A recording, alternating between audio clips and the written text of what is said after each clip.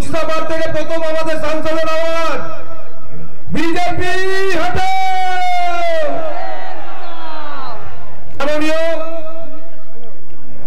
সাংসদ ডায়মন্ড লোকসভা কেন্দ্রের রূপকার নবরূপকার পশ্চিম বাংলার অগ্নিকন্যা, পশ্চিম বাংলার পশ্চিম বাংলার মাননীয় মুখ্যমন্ত্রী মমতা বন্দ্যোপাধ্যায়, আমাদের কাজ কি?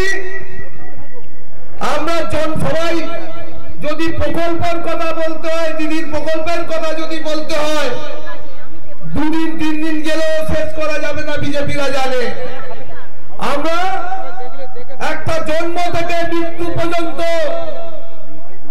একটা বাচ্চা থেকে বড় হওয়া পর্যন্ত, মৃত্যু পর্যন্ত আমরা মানুষের জীবন তৈরি করতে জানি। একুশে বিধানসভা ভোটের আগে বিভিন্ন ইস্যুতে সরগরম রাজ্য রাজনীতি, একদিকে শুভেন্দু অধিকারীর মন্ত্রিত্ব ত্যাগ, অন্যদিকে বিভিন্ন তৃণমূল নেতাদের বেসুরো মন্তব্য।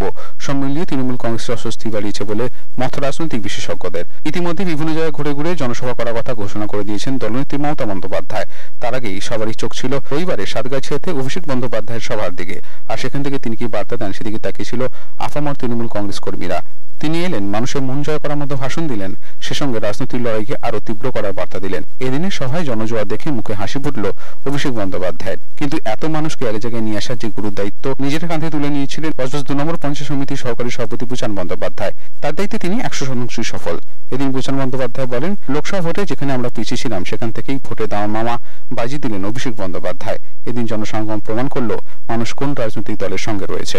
ওনার প্রথম প্রথম সভা যে সভাটা সাতগাছিয়া বিধানসভার অন্তর্গত চকমানিক অঞ্চল, সেই চকমানিক অঞ্চলের, আমাদের সাতটা অঞ্চলের মধ্যে চকমানিক অঞ্চল আমরা হার ছিল।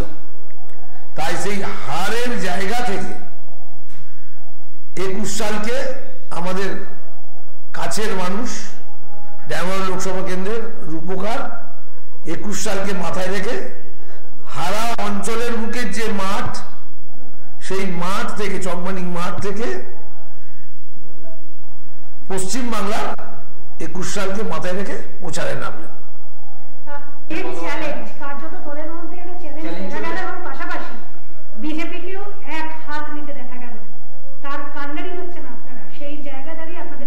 দেখুন একটা কথা বড় কথা যেটা বললে হয় পশ্চিমা প্রথমে মা দশ মাস দশ দিন পেটে মানে মায়ের পেটে মা ধারণ করেন। তারপরে আমার জন্ম দেন, তারপরে আমাকে পড়াশোনা করান, শেখান, পড়ান, সব করান। আমার জন্মদাত্রীর নাম হচ্ছে আমার মা। আর তৃণমূল কংগ্রেসের জন্মদাত্রী যিনি, তার নাম হচ্ছে মমতা বন্দ্যোপাধ্যায়। এবং আমার পঞ্চায়েত সমিতি আমি সহকারী সভাপতি। আমার যে পদ, আমার যে যুব দলের পদ, তৃণমূল কংগ্রেসের পদ সেই পদটা মমতা বন্দ্যোপাধ্যায় দিয়েছেন তাই আমি বুচান ব্যানার্জি হয়েছি। মমতা ব্যানার্জি যদি দল না গঠন করত মায়ের পর যদি দলে যদি কারুর স্থান থাকে আমি বুচান ব্যানার্জি তৈরি হয়েছি। মমতা বন্দ্যোপাধ্যায় আমার মায়ের জন্য। মাকে ছেড়ে যদি কেউ অন্য লোককে ভাবে তার ব্যাপার সে ভাবছে।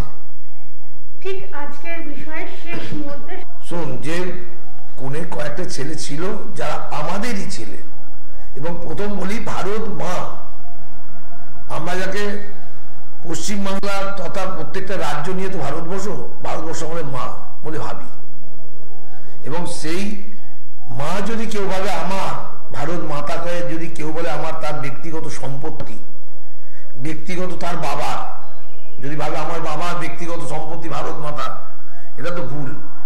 জাতীয় সঙ্গীতের পর ছেলে বলতেই পারে ভারত মাতা কি চাইতে ভারত মাতার সঙ্গে এই যদি কেউ ভাবে যে তার ব্যক্তিগত সম্পত্তি, এটা পুরোটাই